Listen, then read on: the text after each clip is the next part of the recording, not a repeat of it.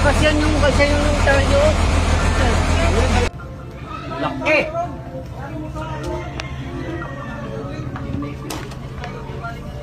we know that the magma in the Pacific is starting to move. And this is another sign of that story. By Philippines, there is a subduction system. The Ring of Fire itself has subduction systems there. There's the one by Russia, then you got one by the uh, coast of West Coast. The plates are diving under each other.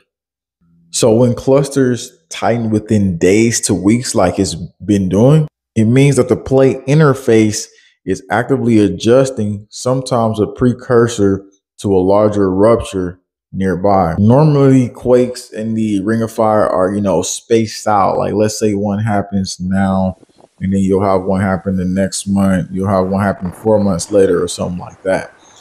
That has not been the case lately. And that's why scientists are more concerned about this scenario. And this is why we see more activity starting to just redistribute right away because of this activity shift that is definitely taking place that you should take serious.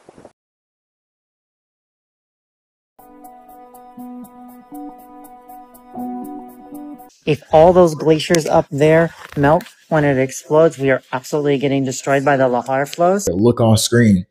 This simulation shows where the lahars and the mud flow will actually come out at. That would happen before an eruption. The melting has already begun. That's been confirmed by climatologists. Look on here. All the red areas and all the yellowish is where the mud flow and the lahars would be at. That would stop highways from being active. It would be a scenario that you want to map out a game plan. But the pitch second crack has been found tearing apart off the Pacific Northwest. The Cascadia subduction zone where the Juan de Fuca plate is, is slowly breaking apart. This area is off the coast of Vancouver Island, right here. Lamont Doherty Earth Observatory, which is part of Columbia Climate School, identified this off the coast of Vancouver Island in the region of Cascadia, where Juan de Fuca plates are slowly moving. The team has captured a subsurface of the subduction zone tearing itself apart. Just weeks ago by the Gorda Ridge, there was another tear found on the Cascadia subduction zone. The new slab tear off Vancouver Island redistribute stress along the Cascadia subduction zone. This could mean smaller or more localized quakes directly under Vancouver Island instead of one massive rupture releasing stress on the Cascadia subduction zone.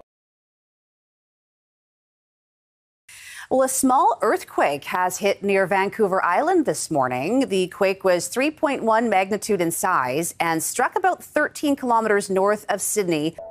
And here's the shift that Canada, Washington, Oregon, California can see. When a subducting slab tears, hot mantle can well upward through the gap this can increase magma supply to the nearby volcanoes in the Cascade Range and also in the Garibaldi Belt in British Columbia. Just so you can see that here is the Cascade Range right here. And the most significant ones we're looking at in this zone is the ones we want to be looking for in the next weeks and months. Also, British Columbia. This is where the zone that we're talking about as well I find it very interesting that just a month ago, the government of British Columbia said, get ready for volcanic activity. Now we know why they said that.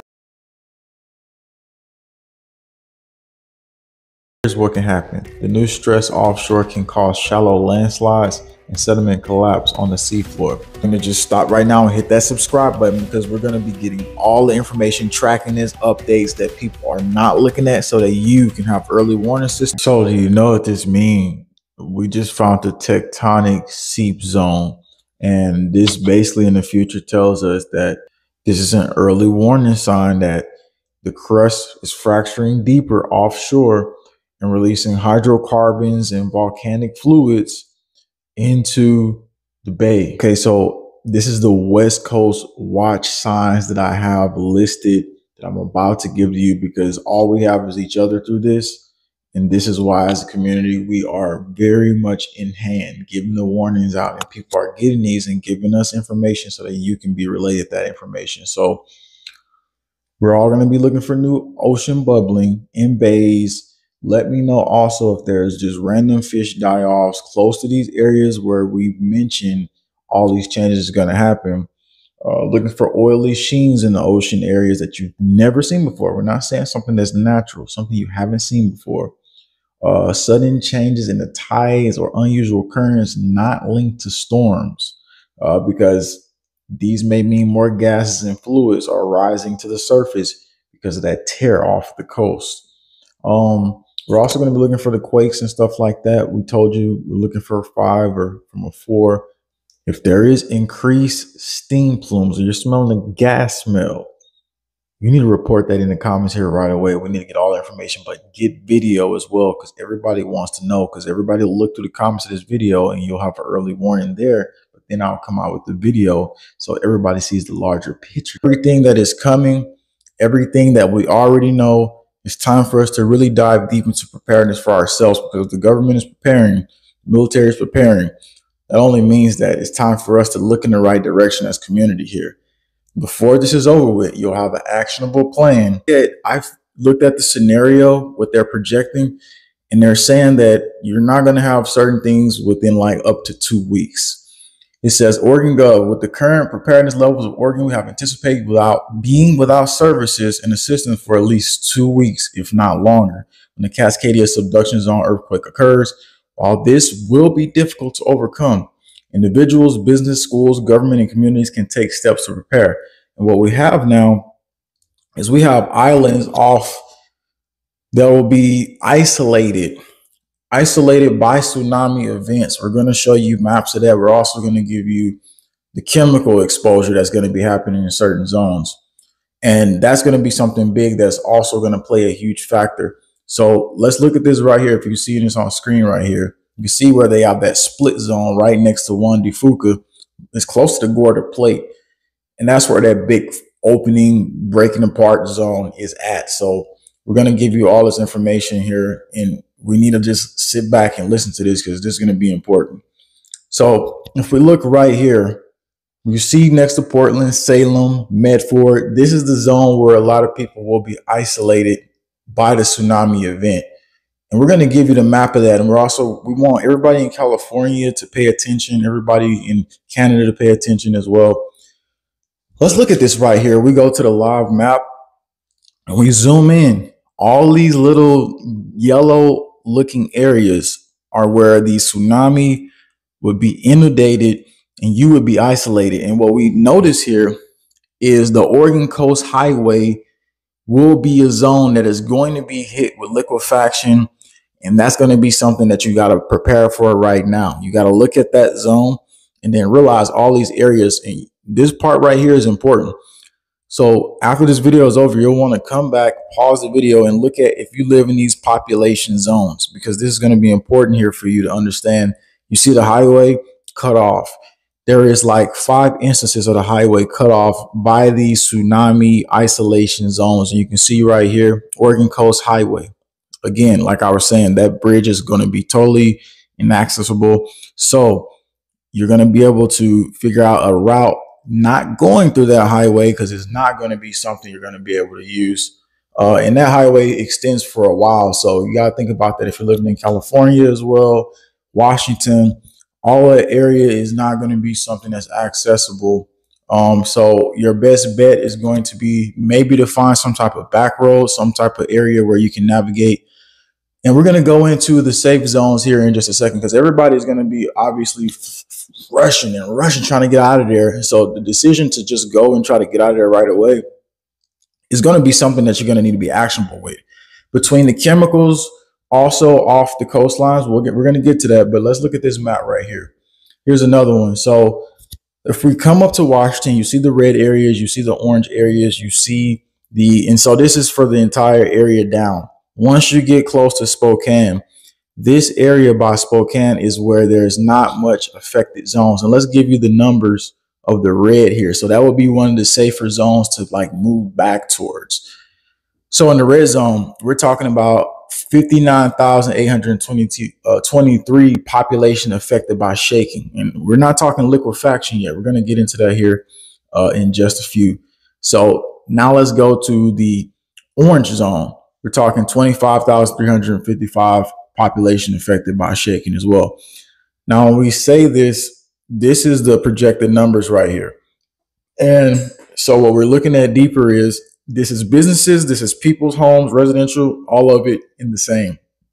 And so when we go back to the yellow zone, we only have about 12,127 actually says 822 will be affected by shaking. The less shaking is close to Spokane area. So that area is where like right there where Spokane is where the safe zone starts to be the area right there. Once you're in the upper part, that's the safe zone pretty much collapsing. Uh, and you don't want to be too close to that zone either because that's going to be something. Now let's talk liquefaction because what happens is a lot of stuff starts to sink. And if you're just tuning in, I'm going to give you a free PDF today. You're going to have that to download before this is over and look into it. And so all I ask is I'm going to drop that link in there grab the free PDF. Once I do, all I ask is that you fuel this channel with a donation or a super chat. Every donation has helped me keep building the resources for this mission. I put this together for you. Uh, it's going to be uh, free. Before this video is over, you'll have it, but you can see the links for PayPal, Cash App, Venmo in the live chat, and you can do super chats as well. These are the zones right here where we're looking at liquefaction at. So liquefaction is when everything starts to sink. And we've got data about this liquefaction. We're going to be looking at roads. We're going to be looking at just buildings, cars, all these zones we're going to be looking at because this is going to be something that Cascadia is going to start to make commence. Now, if we look right here, California, only certain zones in Northern California would have the widespread liquefaction uh, because of this loose sand in the soils that's over there. We're looking next to this fault line is close to that crack. Mendocino Triple Junction is right there where a lot of these earthquakes already hit. And it's Cascadia is right in that corner next to San Andreas. And that's the question people ask is like, will San Andreas also be another area that's affected? We're gonna see because like once this one fault, if it the earthquake hits on that zone, it very well could activate it. But if it hits other zones like an ocean a little bit farther and it's not right there, we could have a different scenario. But let's look at this right here. I'm going to read this to you. Predicted impacts. This is what they're looking at of, of M9 event. It says 2,755 kilometers of roads, 1,815 kilometers of rail, 837 bridges and eight ports will likely be rendered unavailable due to predominantly liquefaction, considered only Washington state infrastructure.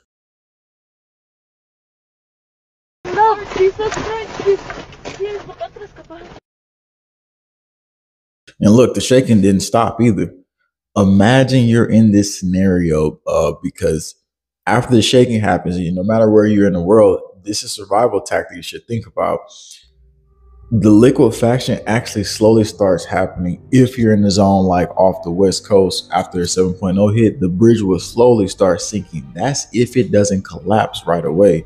Before you exit the video the video that ties into this hugely they don't want you to see. I'm telling you i put details that nobody has.